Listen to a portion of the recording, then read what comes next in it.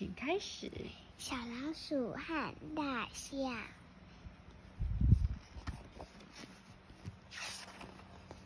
这只大象是黄色的耶。小老鼠想和大象玩游戏，他们可以玩什么呢？他们可以一起打篮球吗？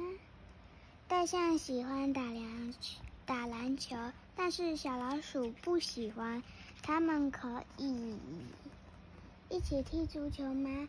小老鼠喜欢踢足球，但是大象一点也不喜欢。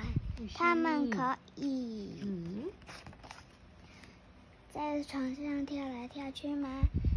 大象喜欢跳来跳去，但是小老鼠不喜欢。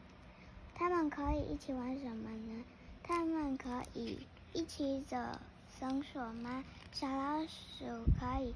勉勉强强，但是大象却不可不行。大象喜欢热气球，哎，大象不喜欢热气球。嗯。小老鼠不喜欢放风筝。大象真的很不喜欢降落伞。没有用的大象实在太大，小老鼠又太小。啊。大象有个好主意，敲敲敲，打打打，捶捶捶，锯锯锯。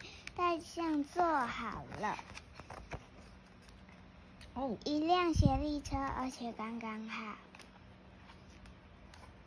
是一只小老鼠和一头大象的斜力车，特是特别定做的哦。嗯，小老鼠和大象是好朋友，但是。